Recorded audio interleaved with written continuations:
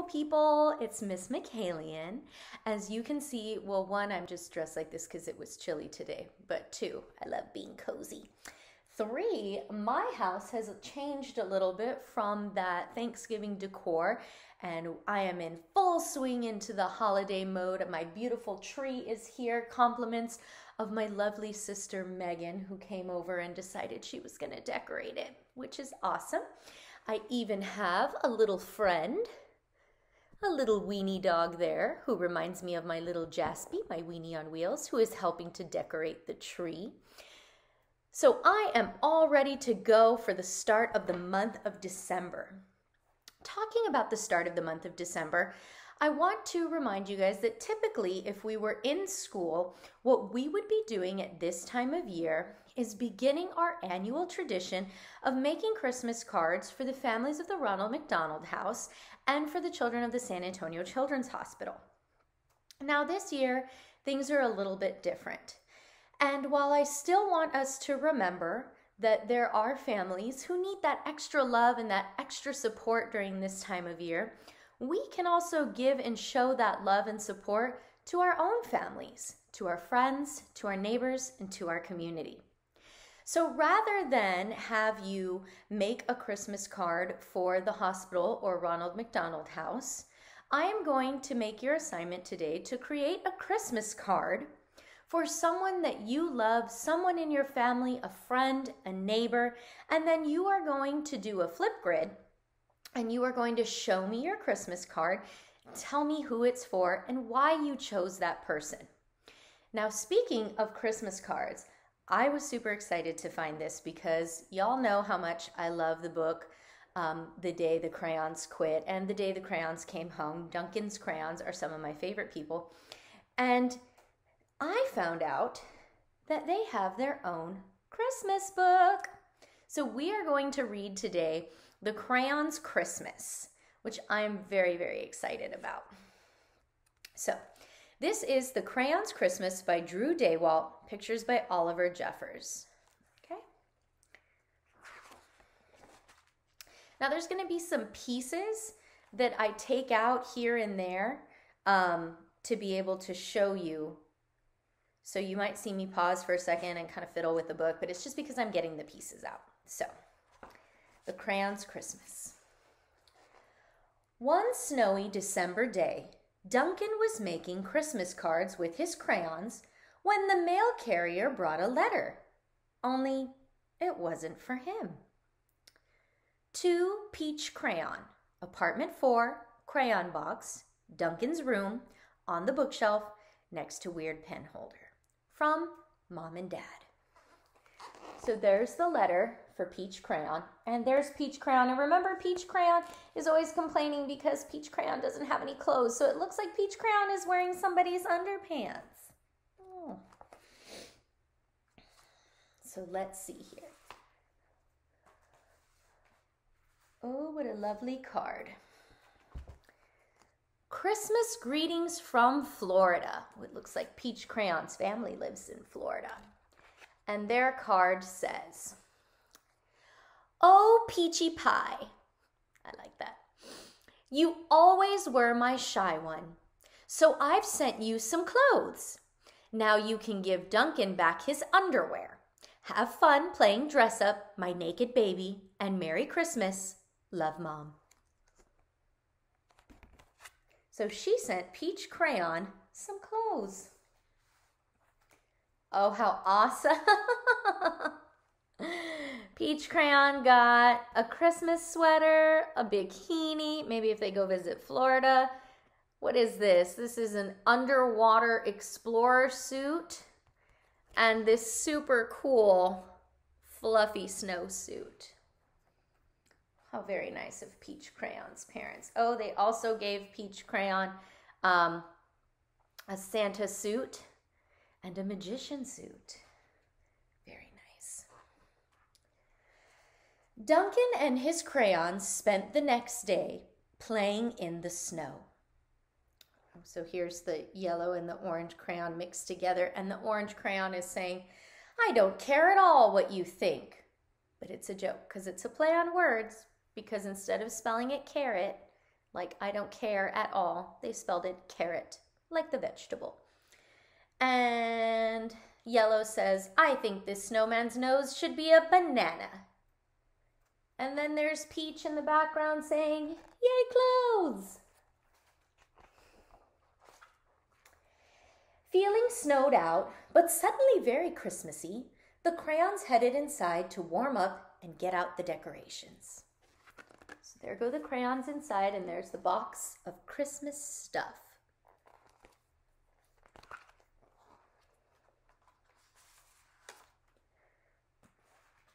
You know, I'm candy, right, Duncan? And you know you're supposed to eat candy, right? Because last time I checked, people didn't hang candy on the tree. Ten years in a row. I'm older than you are, kid. Now, will someone please eat me and end this madness? Oh, so it looks like we have a candy cane that they plan on hanging on the tree. I used to hang candy canes on the tree when I was little. I didn't, we didn't this year.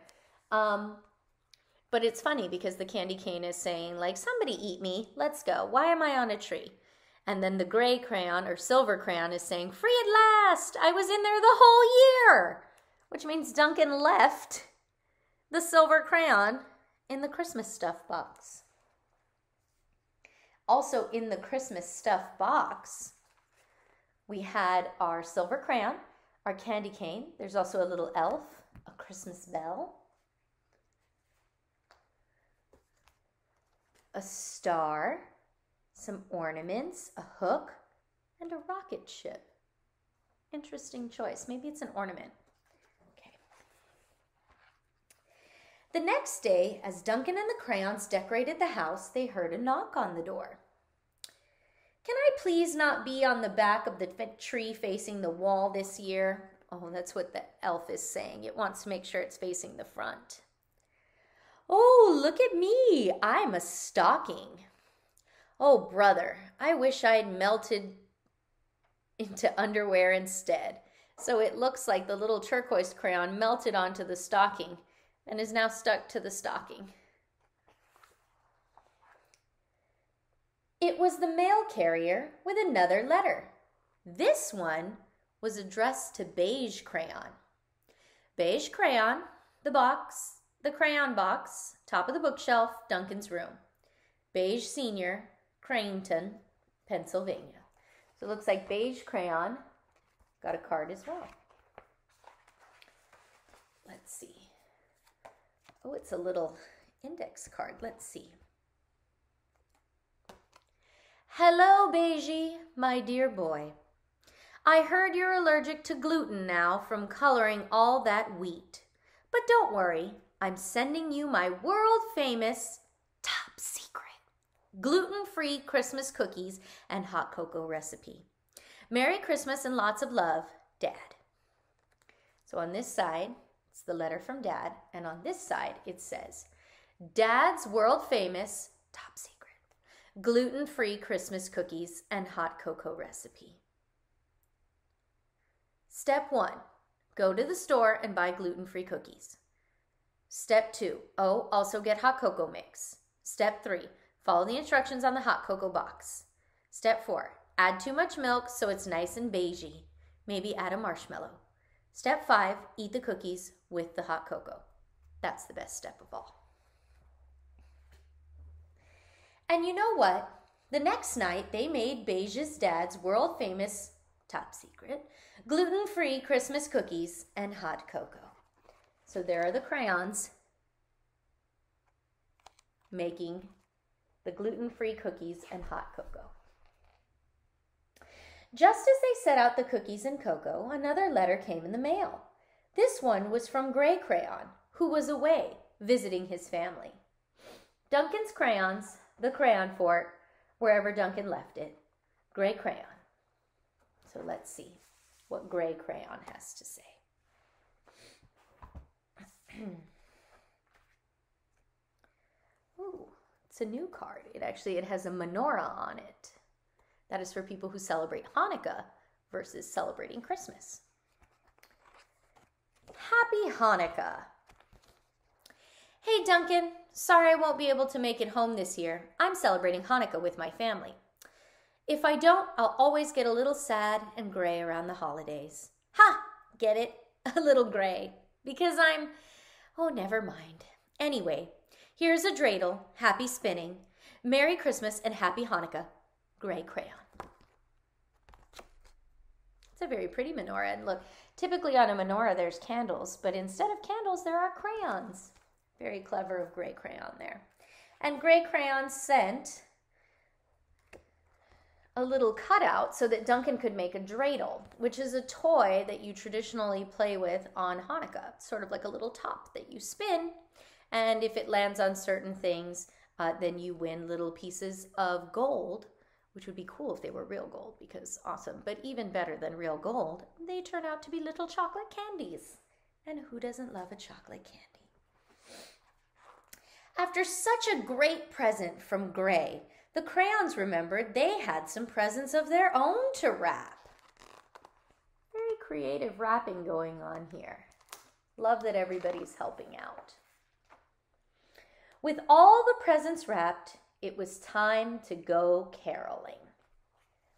And so we see all of the crayons lined up to go caroling, and up here it's written with little music notes, so it means you have to sing it, and they are singing Deck the halls with lots of crayons. Fa la la la la la la la la. They changed it a little bit, but I like it. Just as the crayons came home from caroling, the mail carrier delivered a big package for chunky toddler crayon. I'm sorry, guys. I forgot there was a crayon called Chunky Toddler Crayon. And it's just so cute. Also, it has a bite taken out of it, which probably means that the toddler that it belongs to took a little bite out of it. and Chunky Toddler Crayon, I love that, is saying, Ooh, I ordered this Christmas gift online. That's how it works, right? You order gifts for yourself? It's not? Oh, sorry. Well, the good news is that we can all play with it and open it and see. And so this is the package that Chunky Toddler Crayon ordered for themselves. Let's see what is in here. It says, The Great Crayon Holiday Race. The simple goal is to get from start to finish. You roll six sided die and move a counter that number of spaces. And if you land on a special space, you follow the directions on the space and move your piece accordingly. Oh my, looks like it's just plain over here, but it seems like those are the directions. This is the awesome game that, that Chunky Toddler Crayon, but I'm not going to be able to get over that. I absolutely love their name. There's another Chunky Toddler Crayon. So it looks like there's this awesome game in here that you can play, and you're supposed to roll dice. And then you land, and there's different things that say, Picasso likes your art. Take the secret artist shortcut. And you get all the way to the top. It kind of reminds me of Candyland, uh, but instead of with candies, it's with crayons. But that was really cool.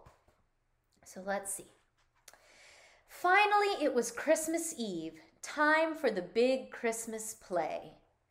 Oh, it looks like they're dressing up. I think we've got a.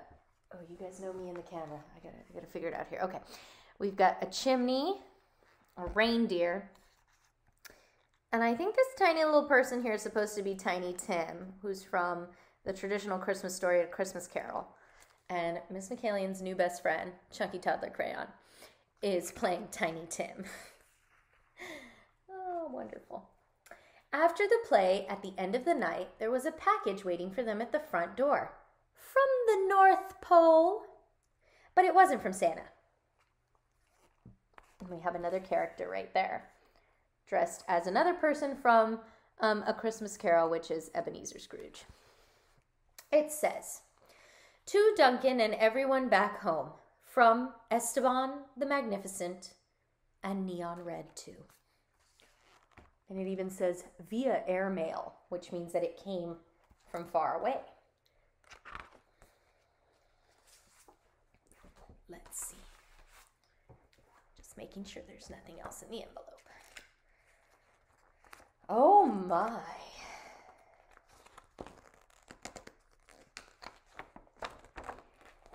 Hey, Duncan. Remember how I always wanted to see the world? And you know how Neon Red is a little. What? Is a total expert? Well, Neon Red has been taking me everywhere. Here's a map we made of our trip. We were hoping to get back before Christmas, but sadly we can't because we're helping this old guy light his sleigh to deliver gifts to some kids he knows or whatever. Merry Christmas from far, far away. Love, Esteban the Magnificent, and Neon Red, also pretty magnificent.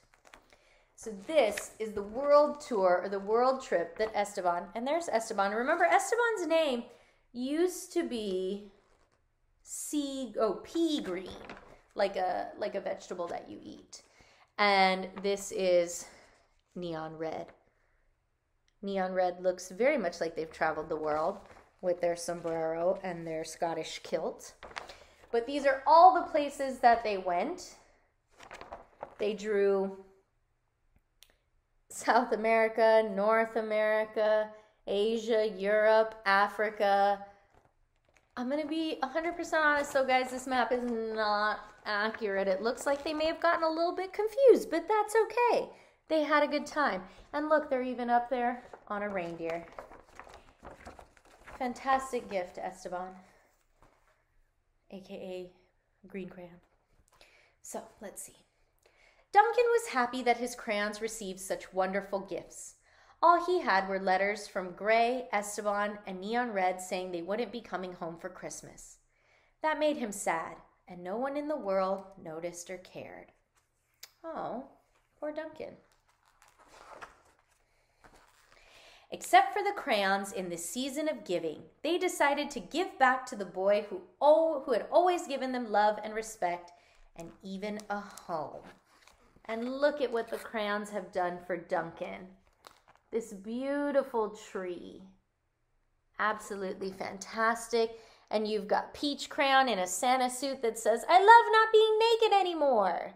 And then you've got this here that says, Merry Christmas, you old Bailey Savings and Loan from the coffee cup there. And then you've got It's a Christmas Miracle, the little bell sang. And we've got Bless Us Everyone coming from Miss McCallian's best friend, Chubby Toddler Crayon. But that's beautiful. And then look what happened. The dog ate the candy cane, and the candy cane is saying, Yay, finally! Because its goal for Christmas was to be eaten. And that is the end of the book. I like that book a lot. One, because, you know, I made my new best friend, um, Chubby Toddler Crayon. Um, but also because it's just a great reminder that we don't always need giant gifts and we don't need um, big presents and things to look forward to, even something as small as making our own game together for our family to do, right? Or celebrating traditions of people other than ourselves, making hot chocolate together, hanging up ornaments on the tree or even just getting a letter from someone you love or a card from someone you love can be a wonderful way to celebrate the holidays. So, once again, your assignment for this week is going to be to make a Christmas card for someone that you love. You can make more than one if you have more than one person you want to make a Christmas card for. It's really up to you. And then you're going to do a Flipgrid and you are going to share with me. So if this were my card, I would say, My name is Miss McCallion, and I decided to make a card for so and so. And I did it because I wanted to make them happy and I love them and what have you. And then you can show me your card if you want. Okay? So, I want to say thank you to everybody for listening to our wonderful news story and that I am sad that we will not get to do our tradition of making cards for Ronald McDonald or the Children's Hospital, but I am happy that we will get to show a little bit of that love and support and kindness during this time of year to each other, right? Because it's great to help others and it's also great to show that love to one another. So, everybody have a wonderful day, have a wonderful week, and we'll see you next time.